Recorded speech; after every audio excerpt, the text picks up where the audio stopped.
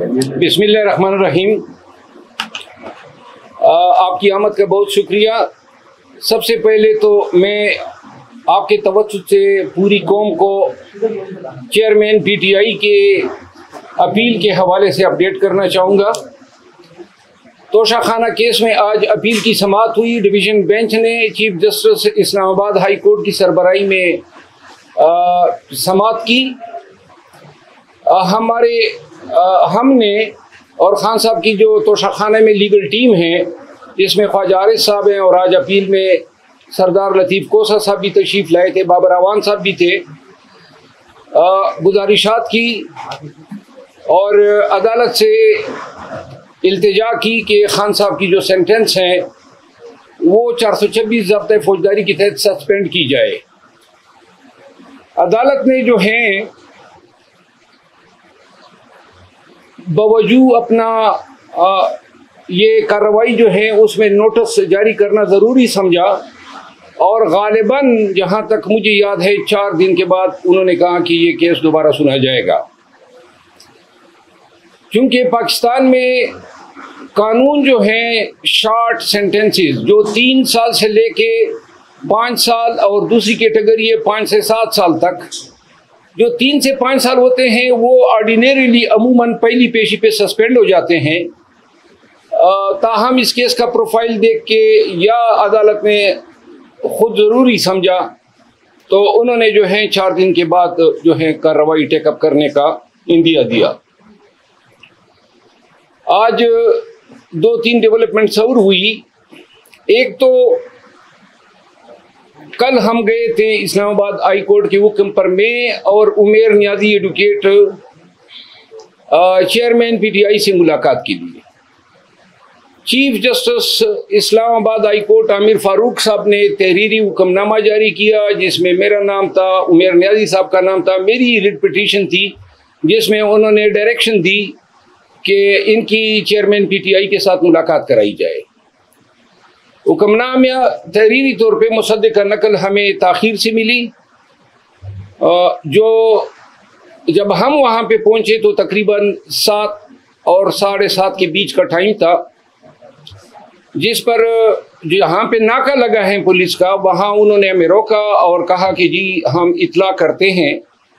कोई एक घंटे के बाद जो है, डिप्टी सुपरिटेंडेंट अब जेल सुपरडेंट का ये पैगाम लेकर आए कि चूँकि छः बजे हम क्लोज कर चुके हैं गिनती तो लिहाजा मुलाकात नहीं हो सकती है। चूँकि खुद हम इस कानून के पेशे से वाबस्ता है और हमें उनकी मजबूरियों का इतराक था ताहम उन्होंने फिर हमें कहा कि आप मज़ीद इंतज़ार कर लें, अगर सुपरडेंट साहब जो हैं, वो आपको इजाज़त दे। इंतज़ार बी सी आर के बावजूद हमें इजाज़त नहीं मिली। यहाँ पे हमारी कमिटमेंट्स थी इस्लामाबाद में। तो हम वहाँ से रवाना हुए और इस्लामाबाद पहुँचते हुए रास्ते में हमने इस हवाले से वीडियो भी जारी की। आज सुबह चीफ जस्टिस साहब को मैंने इन्फॉर्म किया कि गरचे आपका हुक्मनामा चूँकि हमें ताखिर से मिला था तो जेल हुकाम ने ये बहाना बना के हमें मुलाकात नहीं दी, जिसके बाद जो है आज चीफ जस्टिस साहब ने चेयरमैन पीटीआई की वो पिटीशन, जिसमें उन्होंने ए, बी क्लास का मुतालबा किया है और अडियाला जेल मुंतकिली की इस्तः है।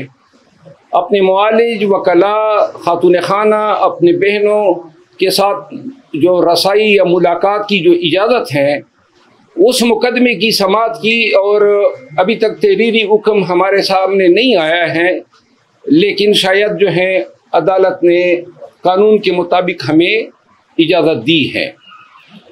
जिसके बाद मैं शहरियार अफरीदी साहब के केस में पिंडी हाई कोर्ट गया।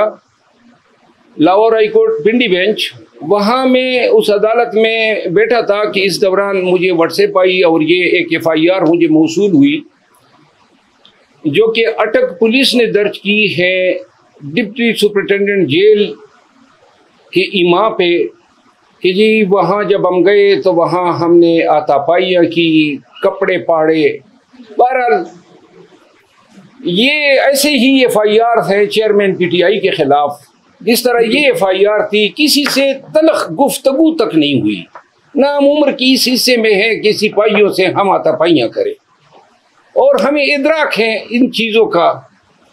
लेकिन अफसोस इस उम्र पे होता है कि जेल सुपरिटेंडेंट और डीपीओ, जिसका नाम डॉक्टर गयास गुल है, ये कंपनी के अलाकार बने और उनकी माँ पे इन्होंने हम पे ये एफआईआर दर्ज की। एफआईआर में इल्ज़ाम हैं और हम ये एक चीज़ उनको दाद देते हैं कि थोड़ा, थोड़ी सी शराफत ये दिखा दी और जिसके ये मुस्तक हैं कि कपड़े पाड़ने का इल्ज़ाम, चलो मर्द का लगा दिया है, शुक्र है, किसी रिश्तेदार खातून का इल्ज़ाम नहीं लगाया।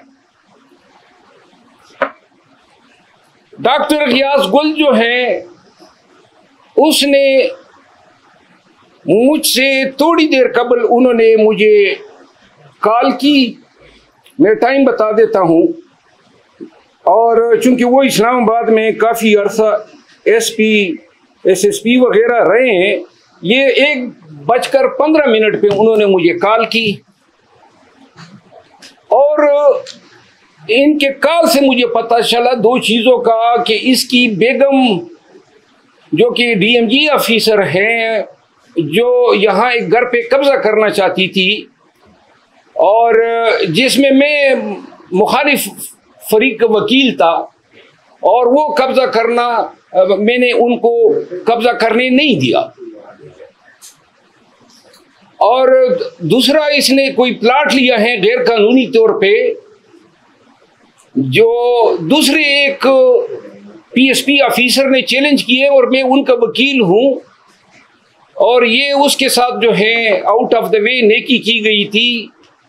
तो वो उस केस में भी रिस्पोंडेंट हैं और मैं इसका मुखालिफ वकील हूँ। तो इन चीज़ों का हवाला देते हुए उन्होंने कहा कि जी, आपको अंदाज़ा हो गया होगा। तो मैंने उनको कहा कि मोहतरम, मुझे तो ये इन छोटी छोटी चीज़ों का इल्म नहीं होता है, लेकिन आपकी इतनी अवकात नहीं है कि आप मुझ पर डायरेक्ट एफ़ आई आर करें। अगर आपकी पुष्ट पनाई वो लोग न कर रहे हो जो आजकल पूरे पाकिस्तान में लोगों पर एफ़ आई आर कर रहे हैं। उन्होंने मुझे फ़ोन पर धमकियाँ देने की कोशिश की, जिस नस्बत मैंने थाना सेक्रेटेरिएट में उनके खिलाफ धमकियाँ देने 25 डी टेलीग्राफ एक्ट के तहत एफआईआर करने की दरख्वास्त की है। साथ ही, चूँकि इन लोगों ने कानून का मज़ाक उड़ाया है, और हाई कोर्ट के हुक्म पे हम गए थे, मुलाकात आपने नहीं करनी दी। उसके बाद इस हद तक आप लोगों का गिर जाना इन इदारों के लिए कि आप ये इल्ज़ाम तराशियाँ कर रहे हैं। अब ये चीज़ आज की पहली वारदात नहीं है। मैंने पंद्रह दिन पहले मीडिया के साथ टॉक्स के ज़रिए आपको आगाह किया था कि हमें धमकियाँ मिल रही हैं। ये हमें काम से, खान की चेयरमैन पीटीआई की वकालत करने से रोकना चाहते हैं। चेयरमैन पीटीआई के तकरीबन तीस के लगभग मुकदमात में मैं उनका वकील हूँ। और ये ऐसे करतूतों के ज़रिए चेयरमैन पीटीआई को और उनकी लीगल रिप्रेजेंटेशन से महरूम करना चाहते हैं। क्या ज़रूरत पड़ी है उनको ऐसे हरकतें करने की? क्या सुप्रीम कोर्ट ऑफ़ पाकिस्तान का एक वकील आपकी इस पर सोचिए के मुकदमे से डर जाएगा? क्या आप ऐसे हरकतें करके अदलिया को, पाकिस्तान भर के बार एसोसिएशन को क्या पैगाम देना चाहते हैं? हम वकालत करते हैं कानून के दायरे में रहते हुए जो कानून ने हमें हक दिया है मुलजमान को या इंडिविजुअल्स को रिप्रेजेंट करने का, अगर ये तरीके आप अपनाएँगे तो ये उस कानून से भी मुतसादम है और पूरे पाकिस्तान के वकला के हकूक को सलब करने की कोशिश है। यहाँ मैं आपकी तवसत से एक दफ़ा फिर बताना चाहता हूँ कि एक हज़ार एफ़ आई आर कर लें और दरोगोई के पहाड़ खड़े कर दें। जितने पर्चे कर सकते हो कर लो। जितनी धमकियाँ दे सकते हो दे लो। जितना आप कर सकते हैं करें। अगर पाकिस्तानी कौम और पाकिस्तान के वकला को डराने का ख्याल है आपके जहन में तो हम आपके डर को जूते के नोक पे रखते हैं। और इनशाला हम अदालतों से बिलखसूस सुप्रीम कोर्ट ऑफ़ पाकिस्तान से और सुप्रीम कोर्ट ऑफ़ पाकिस्तान के तमाम मुआज जज साहिबान से मैं मुलतमिस हूँ कि आपके सामने पाकिस्तान में यह सब कुछ हो रहा है। पाकिस्तान के अवाम का जीना दो बर किया हुआ है। पाकिस्तान के वकला के घरों पे छापे मारे जा रहे हैं। पाकिस्तान के सिटीजन्स अगवा हो रहे हैं। कल शारियार अफरीदी को तीन एम पी ओ जो था, उसमें आज तारीख लगी थी। इस पिंडी हाई कोर्ट ने इस पे गुस्से का इजहार किया था कि जी शारियार अफरीदी को फिर ये पांचवी दफ़ा आपने तीन एम पी ओ में क्यों मुलविस किया? आज अदालत में डी सी रावलपिंडी ने बताया कि जी वो हुक्मनामा मैंने वापस ले लिया। एक ऐसे हुक्मनामा जिनको ये कोर्ट में डिफेंड नहीं कर सकते हैं। शारियार अफरीदी के भाई को कल रात एक बारह बजकर पचास मिनट पे, रात के बारह बजकर पचास मिनट पे उन्होंने डीसी जेलम ने तीन एमपीओ खत्म किया और उनको नामालूम अफराद के हवाले कर दिया। शारियार अफरीदी का तीन एमपीओ कल इन्होंने खत्म किया। आज पता चला डीसी इस्लामाबाद, जिसका पहले तीन एम एमपीओ का लदम हो चुका है, उसने ये सातवीं दफ़ा तीन एमपीओ शारियार अफरीदी पे लगा दी। तमाम जज साहिबान देखें, क्या पाकिस्तान इसलिए बना था? ये मुल्क है, ये आपका आइन है, ये बुनियादी हकूक है। क्या इस तरह होता है महजब मुआशरों में अपने शहरियों के साथ? और ये लामतनाई सिलसिला कब रुकेगा? अदालतें हमें छोड़ रही हैं अदालतों से इस्तदा है ना कि छोड़ते हुए साथ में ये भी काम करें कि आइंदा कोई इनको गिरफ़्तार ना करें। जिस तरह आज मैं दाद देता हूँ ऑनरेबल जस्टिस अनवारुल हक बनू साहब की। उन्होंने आज हुक्मनामा किया कि पंजाब भर में कहीं पर शरियार अफरीदी को अगर गिरफ़्तार करेंगे तीन एमपीओ में तो पहले हाई कोर्ट से इजाज़त लेंगे। मैं यहाँ पे सताइश करूँगा chief justice Peshawar high court Ibrahim Khan sahab के उस फैसले के जब मेरे साथ रंगेज खान एम पी गया हुआ था असद कैसर साहब, और इन्होंने कोर्ट के प्रेमिस से अगवा किया तो उन्होंने कहा कि मैं मुलाजिमत से इस्तीफा दे दूँगा अगर रंगेज को पेश नहीं किया आधे घंटे के अंदर। और साथ में ये हुक्म दिया कि जब तक आपके मुकदमा फैसले नहीं होंगे, कोई आपको गिरफ़्तार नहीं करेगा। मैंने शारियार अफरीदी का किस्सा सुनाया घर घर ये कहानी है। पीटीआई के तमाम क्यादत के साथ ऐसा हो रहा है। एक तरफ़ हमारे खिलाफ ये जेल एफ़ आई आर की, दूसरी तरफ़ इन्होंने नई मेजर पंजोता को एफ़ आई ए ने आठ, साढ़े आठ घंटे अब से भेजा में रखा। आज ख्वाजा आरिफ साहब जो हैं, वो जा रहे हैं, पचास साल हो गए हैं ख्वाजा आरिफ साहब को वकालत करते हुए, तकरीबन। आज वो जा रहे हैं कि जनाब एक ऐसी इंक्वायरी में कि जिसमें इल्ज़ाम ये था कि मुआज़ जज साहब जो हैं, उन्होंने अपने टाइमलाइन पे 2014 से इमरान खान के खिलाफ पोस्ट लगाई हुई हैं वीडियोज़ हैं मिमिक्री है।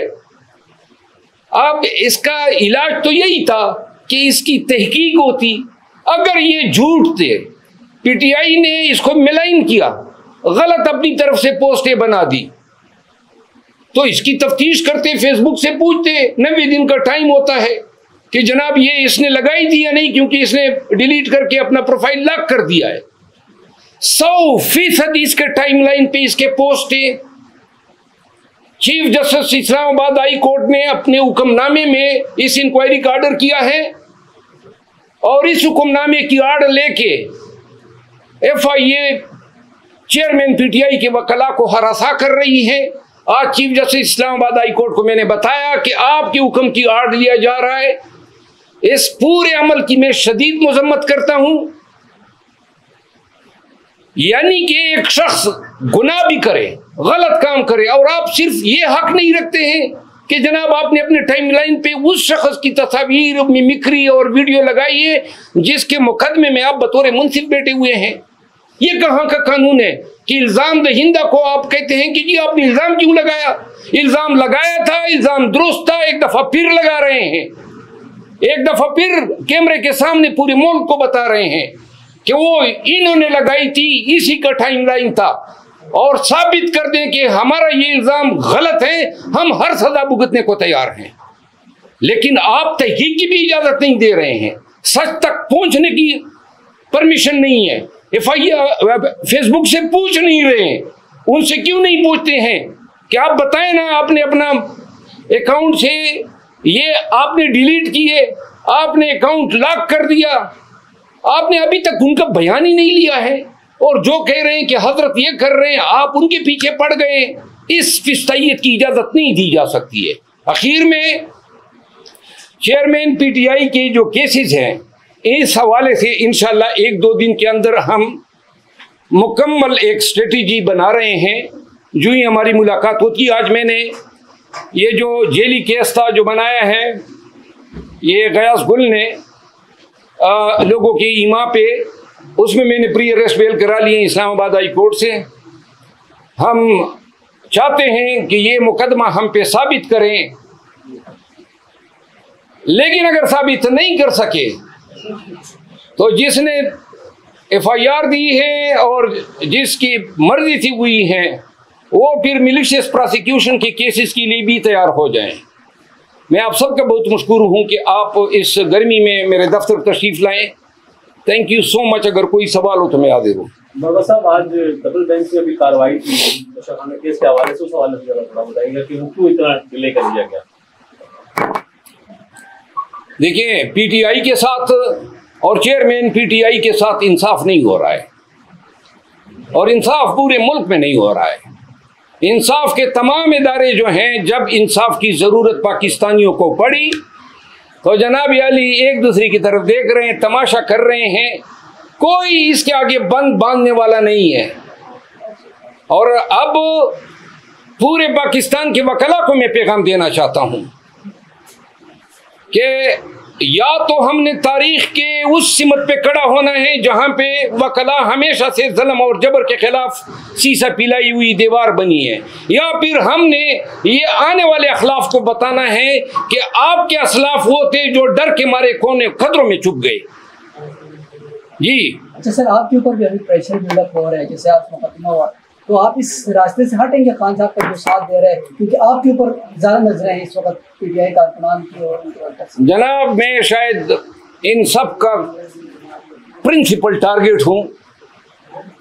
और मैंने आज ट्वीट में भी कहा है कि जब तक सांस में जान में ज़िंदगी है, सांस है तो खान के साथ हैं, खान के केसेस लड़ेंगे। बेशक ये सांस, अगर ये लोग छीन सकते हैं छीन लें तो फिर शायद हमारा बस ना चले। Thank you so much